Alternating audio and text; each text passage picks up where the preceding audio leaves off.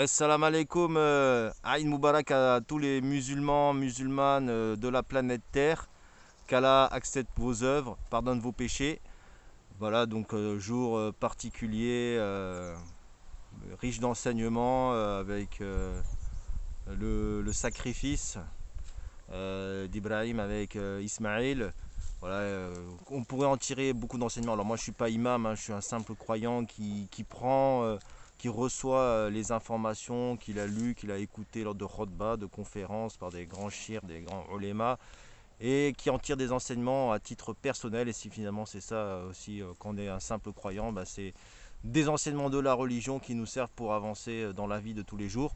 En l'occurrence, le, sacrifice, comme je vous dis, c'est bah, l'obéissance avant tout d'un fils vis-à-vis de son père, Ismaïl, qui, obéit à son père quand il dit de se sacrifier pour Allah Zawajel. Donc c'est l'obéissance et surtout la croyance en Allah Zawajel, euh, Allah le Tout-Puissant, euh, qui, qui, permet même de, sacrifier sa vie quand son père lui demande, ce qui est un acte euh, très fort. Et bien sûr, bah, finalement, qui ne sera pas sacrifié, à la place ce sera un mouton.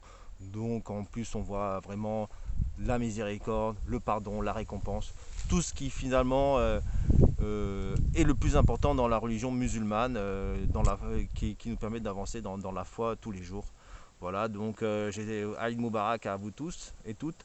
Aussi, bah, je tiens à féliciter tous les musulmans, euh, toutes les associations qui ont mis en place euh, le protocole sanitaire pour bien organiser les prières de l'Aïd.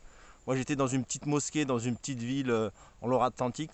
Vous la verrez euh, dans une prochaine vidéo, Inch'Allah. Euh, donc moi, moi ça allait, donc il y avait assez de place pour qu'on soit à l'intérieur et un peu à l'extérieur dans le jardin à côté. Mais il y a eu beaucoup de, communes qui ont mis leur stade euh, à disposition, on les remercie. Alors il fallait bien sûr toute une organisation, le masque, les tapis, euh, un mètre d'écart, et autant dire que les musulmans, bien avant même qu'on ait le masque obligatoire, euh, ont mis en place ces protocoles euh, sanitaires euh, dans les mosquées. C'était déjà la fête que les, musulmans, que les mosquées étaient en train de réfléchir comment faire pour recevoir bien les fidèles. Vous voyez? Donc on peut dire ce qu'on veut, mais les musulmans respectent vraiment les protocoles sanitaires. Et ça, il faut tiens, le souligner quand même. Voilà, voilà.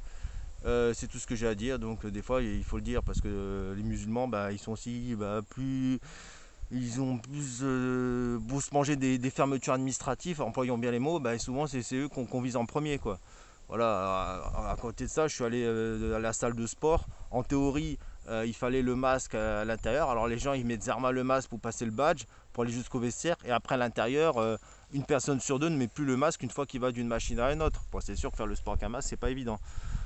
Voilà, voilà, donc euh, voilà, c'est ce que je voulais dire, c'est que surtout, bah, on tape souvent sur les musulmans, et bah, euh, là, faut dire ce qu'il est, ils font tout en sorte pour respecter bien ce protocole sanitaire, les gestes barrières. Euh, dernièrement, je suis allé au, parc Astérix aussi, c'était la fête. Il y a tellement d'endroits où c'est respecté aux trois quarts à moitié.